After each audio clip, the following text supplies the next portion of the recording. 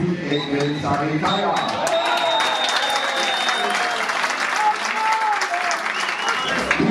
Fußballfreunde, extra in erster Szene Pforzheim, Sportfreunde auf Merzingen, 3-0. Wir ein schönes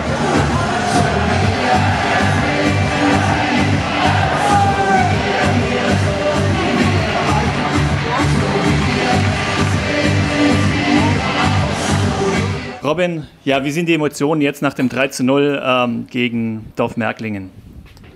Ja, natürlich freuen wir uns sehr über den Heimsieg hier. Ähm, ich denke, der war auch reichlich verdient.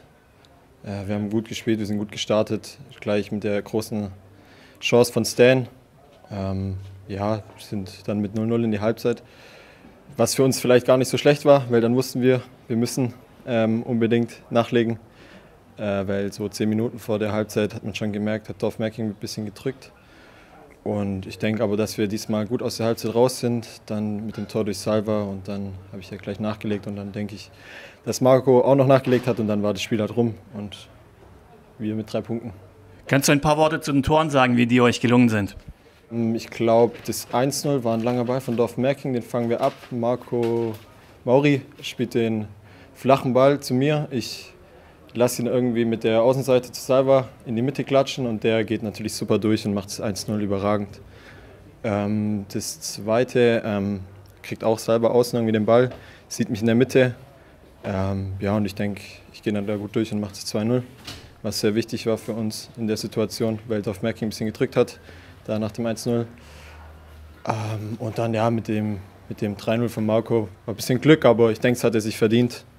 Ein paar Schiedsrichterentscheidungen waren umstritten. Zum einen die gelbe gegen euren Trainer, zum anderen die roten Karten. Wie hast du diese Situation gesehen und bewertest du sie?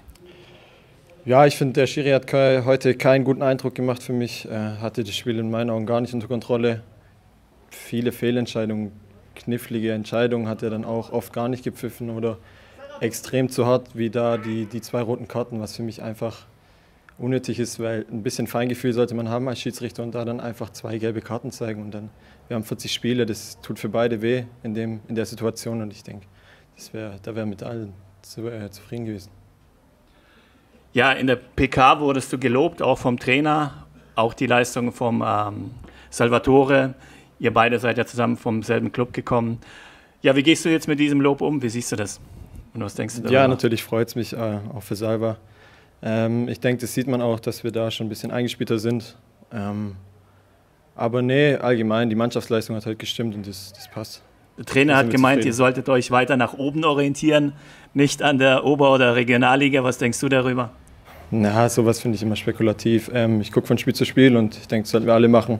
Wie gesagt, es, es, hieß ja in der, in der PK, ja, die, die zwei Jungs da aus Rudesheim, die haben es richtig gut drauf, sind auch jung. Und äh, der Trainer meinte, die Oberliga muss jetzt nicht unbedingt die Endstation sein. Hast, hast du da irgendwie Pläne, dass du sagst, ich möchte irgendwann mal Fußballprofi werden oder ist das jetzt ganz weit weg? Nee, also so, so denke ich nicht. Nee. Ähm, ich habe ja auch noch mein Studium und ich denke, da lege ich meinen Fokus drauf und da will ich jetzt auch nicht weit weg. Deswegen, ich bin hier zufrieden. Eine geile Truppe um mich rum und.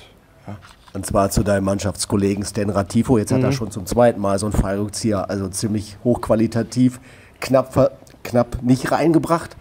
Zeigt er im Training öfter mal so.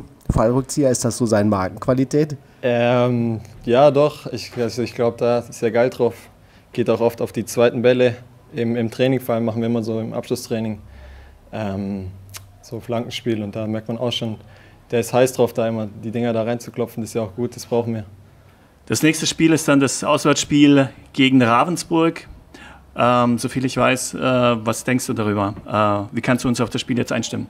Boah, ich glaube, in Ravensburg wird es äh, sehr schwer für uns. Ähm, aber wir gehen dennoch mit Selbstbewusstsein dahin. Hier mit einem Dreier, 3-0 hier zu Hause gegen Dorfmerking, die auch ungeschlagen waren. Ich denke aber, dass, dass wir da trotzdem nicht äh, als Underdog hinfahren, sondern mit breiter Brust dort auftreten werden und dann schauen wir mal, was dabei rauskommt. Robin, vielen Dank fürs Interview. Dankeschön.